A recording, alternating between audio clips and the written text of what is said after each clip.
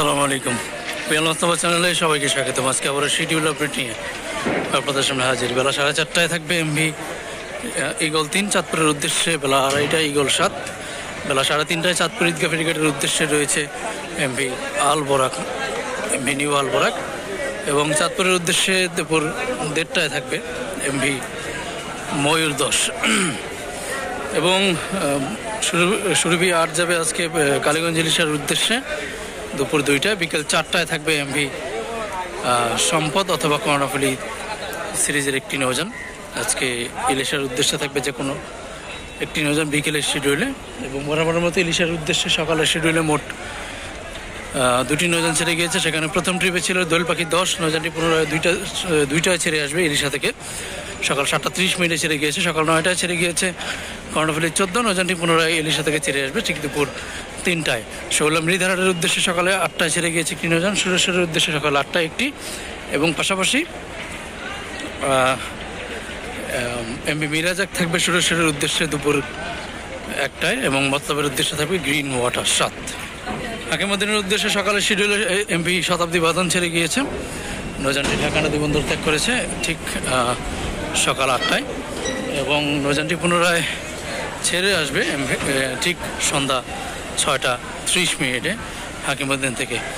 এবারে night service night সার্ভিসের দিকে এখনও যাক। দশ মিনিট চরকাতাল করালে এপারা বন্দরের উদ্দেশ্যে এমভি ইয়াদ সাত নৌযানটি ঢাকা নদী বন্দর ত্যাগ করবে ঠিক সন্ধ্যা ছয়টায়।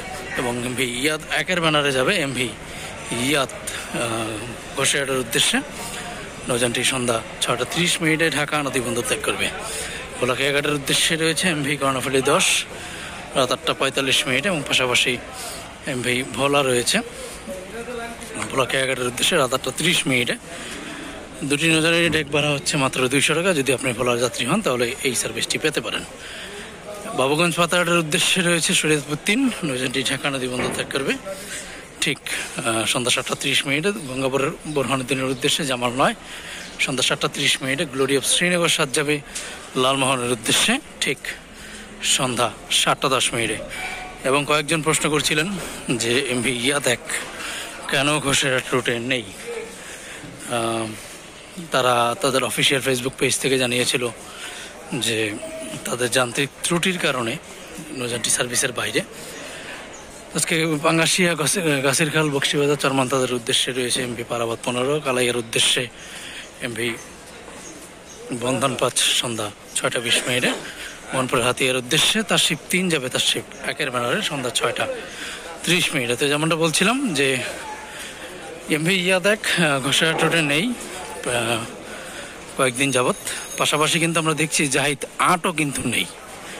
তো যেই যেই দুটি নৌযান সার্ভিসে যুক্ত হলো ঘোষাহাট রুটে প- সেই দুটি নৌযান কিন্তু বেশ কয়েকদিন যাবৎ সার্ভিসের বাইরে দেখছি আমরা। ইয়া জাহিদাট মাসে মাঝখানে সার্ভিস দিলেও ইয়াদাক কিন্তু সার্ভিসে আর যুক্ত হয়নি।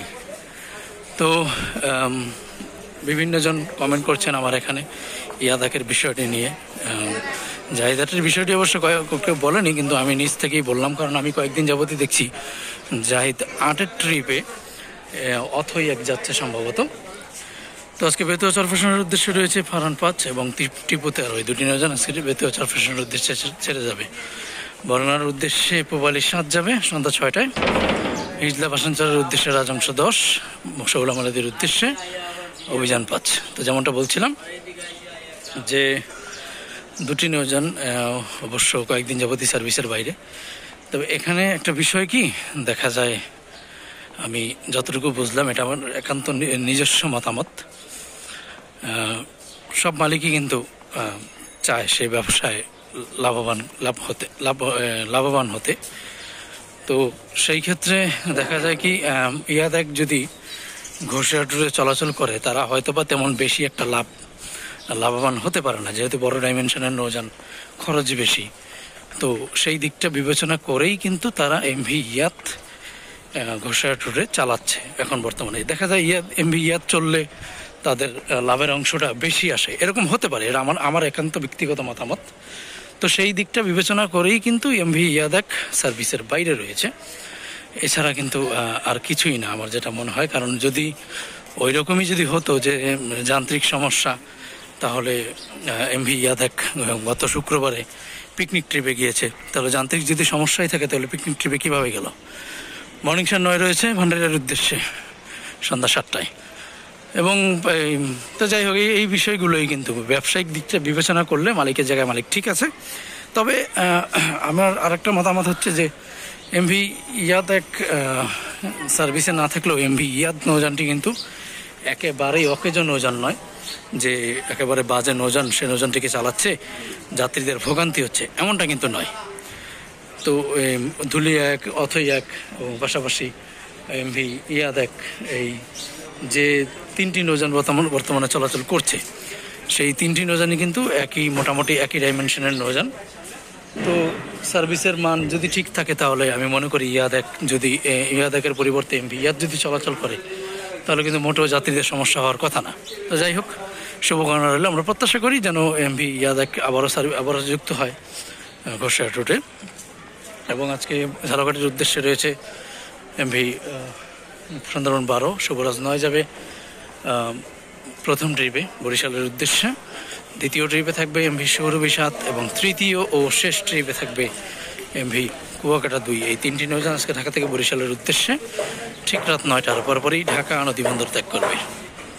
আজকে ঢাকা থেকে বগাপটুয়াখালীর উদ্দেশ্যে রয়েছে এমভি সুন্দরবন নয়। প্রথম ট্রিপে সন্ধ্যা ছয়টা তিরিশ মিনিটে সন্ধ্যা সাতটায় ছেড়ে যাবে এমভি এ আর খান এক তো এই ছিল আজকে শিডিউল আপডেট সবাই ভালো থাকবেন। আল্লাহ হাফেজ।